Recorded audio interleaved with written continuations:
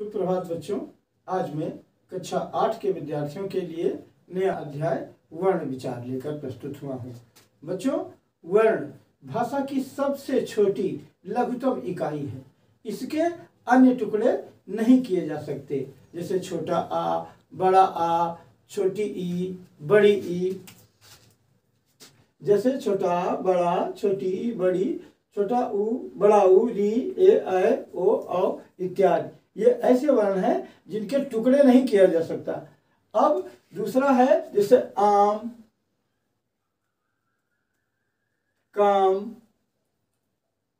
दाम तो इनके टुकड़े किए जा सकते हैं। इसलिए हम इनको वर्ण नहीं कह सकते। वर्ण उन्हें कह सकते हैं कि जिनके अन्य टुकड़े ना किए जा सकते हैं। जैसे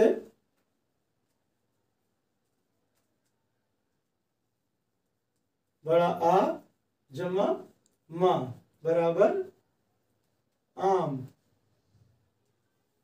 का जमा मा बराबर काम। तो इनके टुकड़े किए जा सकते हैं, लेकिन वर्ण के टुकड़े नहीं किए जा सकते। वर्ण, भाषा की सबसे छोटी से छोटी ध्वनि इकाई जिसके और छोटे टुकड़े नहीं किए जा सकते, वर्ण कहलाते हैं। अब इसके बाद नंबर आता है वर्णमाला का। वर्णमाला का शाब्दिक अर्थ है वर्णों का समूह। तो वर्णों के व्यवस्थित क्रम को वर्णमाला कहते हैं। हिंदी वर्णमाला में उनचास वर्ण आते हैं। आइए इसको हम देख लेते हैं।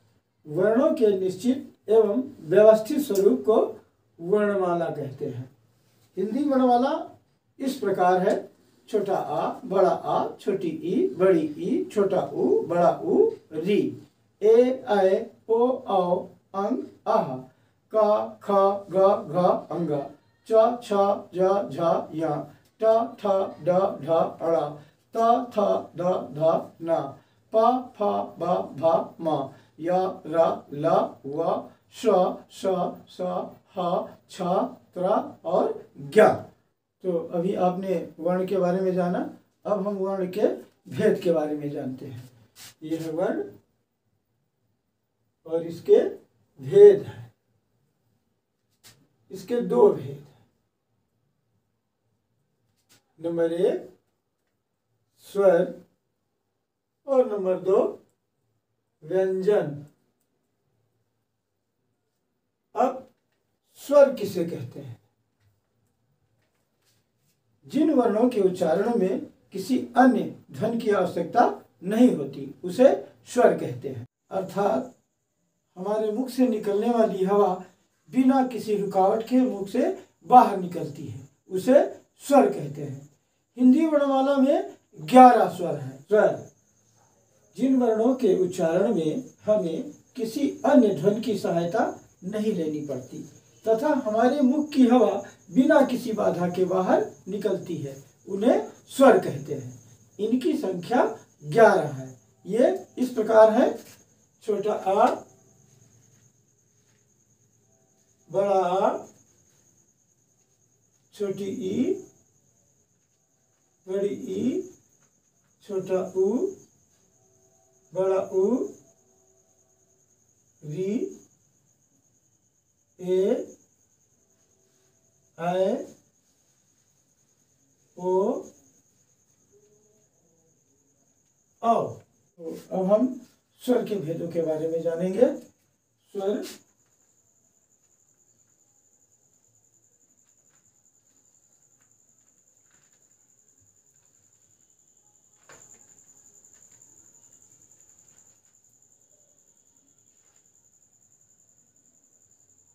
स्वर के तीन भेद होते हैं। नंबर एक, ह्रस्व स्वर।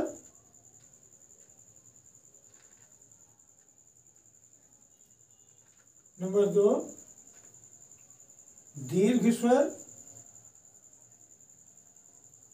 और नंबर तीन प्लुत स्वर।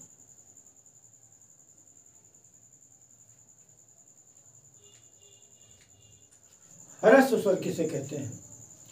जिन वर्णों के उच्चारण में एक सेकंड के पाँचवें हिस्से का समय लगता है, अर्थात एक मात्रा का समय लगता है, उसे ह्रस्व स्वर कहते हैं। इनकी संख्या चार है। छोटा आ, छोटी ई, छोटा उ, री। दूसरा है दीर्घ स्वर दीर्घ स्वर के उच्चारण में ह्रस्व स्वर से दो गुना समय लगता है, अर्थात दो मात्रा का काल लगता है। इसलिए इन्हें दीर्घ स्वर कहते हैं। ये सात है। बड़ा आ, बड़ी ई, बड़ा उ ए, ऐ,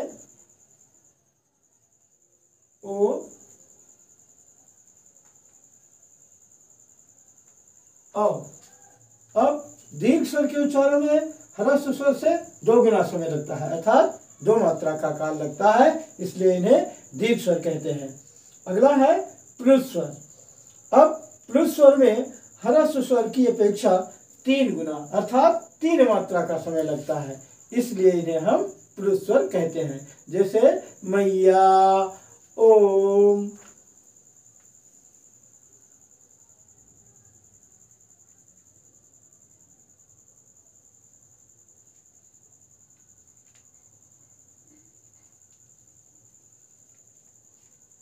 तो ये हुआ स्वर के भेद। स्वर तीन प्रकार के होते हैं, आपको अभी बताया गया। इसके बारे में विस्तार से बताया गया। ह्रस्व स्वर, दीर्घ स्वर और प्लुत स्वर। आज के लिए इतना ही। अगली कक्षा में हम आपसे फिर मिलेंगे। तब तक के लिए धन्यवाद।